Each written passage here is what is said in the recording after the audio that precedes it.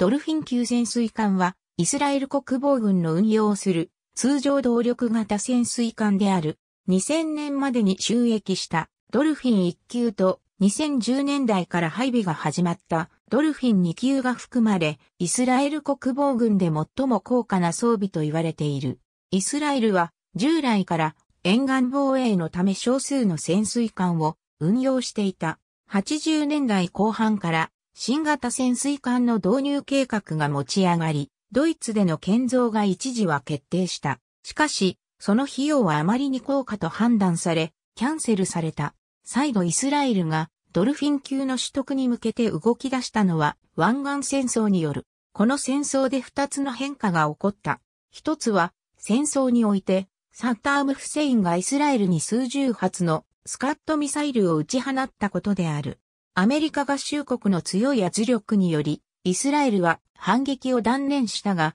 化学兵器の搭載が懸念されていたミサイル攻撃を実際に受けたことは、イスラエルに国土が大量破壊兵器による先制攻撃を受けても影響を受けずに、報復攻撃可能な潜水艦の価値を改めて認識させた。もう一つは、戦後、イラクの化学兵器開発やミサイル技術開発にドイツの企業が協力していたことが明らかになったことであり、1987年に当時の西ドイツがミサイル技術管理レジームに参加していたにもかかわらず、税関での検査が適切になされていなかったことまで判明した。これによってドイツは強い非難を受けた。特に化学兵器搭載ミサイルを使用されるかもしれなかったイスラエルの要求は厳しく、当時のドイツ首相ヘルムート・コールが潜水艦建造についてイスラエルにかなりの協力を申し出ることになった。イスラエルは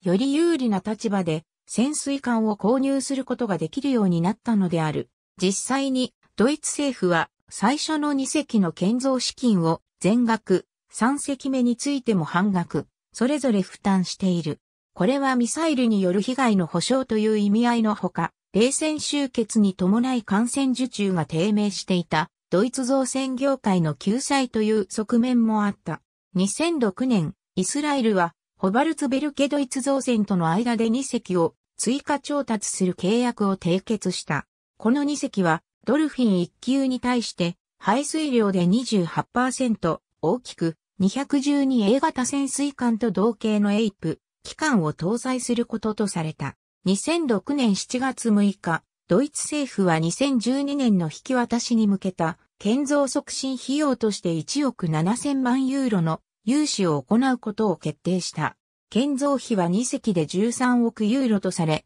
その1、3をドイツが負担した。2010年には6隻目の追加発注の可能性に関する協議が持たれているという報道がされたが、イスラエル及びドイツの双方ともこれを否定した。しかし、2011年にイスラエルは6隻目を発注し、その建造費10億ドルは自己資金で賄うと報道された。2011年7月には、ドイツのトーマス・デメジエール国防相とイスラエルのベンヤミン・ネタニヤフ首相及びエフード、バラック国防相の会合で、6隻目の建造費5から7億ユーロのうち1億3500万ユーロをドイツが負担することが合意された。2016年には、ラファエル・アドバンスド・ディフェンス・システムズが開発した新型ソナーをドルフィン級全艦に取り付ける作業が2年前から行われていることが明らかにされた。このソナーはノイズの影響の大部分を排除できるアルゴリズムにより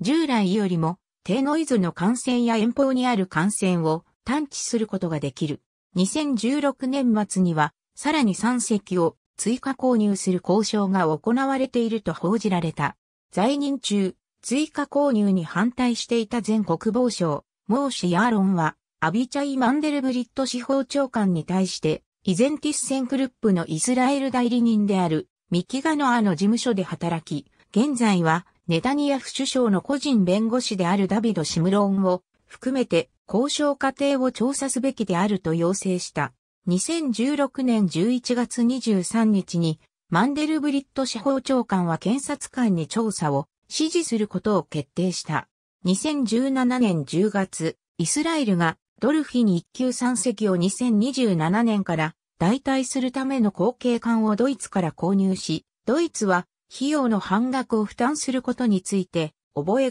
が締結された。ドルフィン1級はドイツにおいて200級型をベースに設計されたものである。しかしその大きさは 212A 型潜水艦をもしのぐ。エイプ機関は搭載せず、従来のディーゼルエレクトリック方式である。喫水線より上の艦隊のエメラルドグリーン塗装が印象的であるが、実際の運用状況がどうなっているかは秘匿されており不明である。武装は 533mm 魚雷発射管を6機、650mm 魚雷発射管を4機搭載する。533mm 魚雷発射管は、対艦ミサイルや魚雷の運用、機雷の射出に用いられているが、650mm 魚雷発射管は巡航ミサイルを発射できると考えられている。また、先行中に工作員を放出できると思われる。ドルフィン2級は212型をベースとしたエイプ搭載通常動力型潜水艦であるが、船体を12メートル延長して、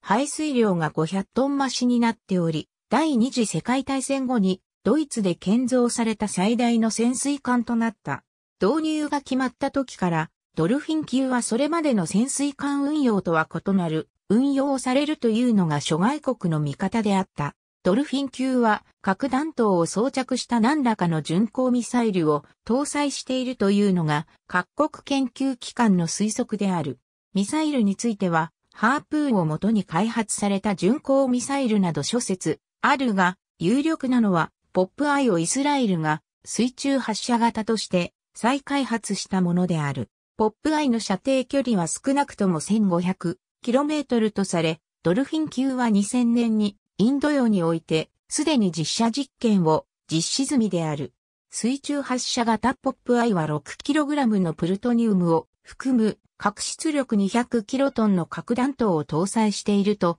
考えられており、これが事実であるとすれば、イスラエルは外地からの核報復能力を有していることになる。現在は本国から遠く離れた海域にローテーション配備され、ことあれば、インド洋や航海からペルシャ湾に突入して、イランに対して核報復を行える体制を構築していると推測されている。ドルフィン級の配備により、これまで国防軍内で最も重要度の低かった海軍部門はその戦略的地位を飛躍的に向上させることになり、従来の海軍の歴史とは一線を画すようになった。イスラエルはその核兵器の有無についてと同様に、ドルフィン級の情報を公表しておらず、ドルフィンが各弾頭はもちろん巡航ミサイルについてもこれを搭載しているとの公式データは存在しない。ドルフィン級については研究機関や報道の推測に頼らざるを得ないのが現状である。ありがとうございます。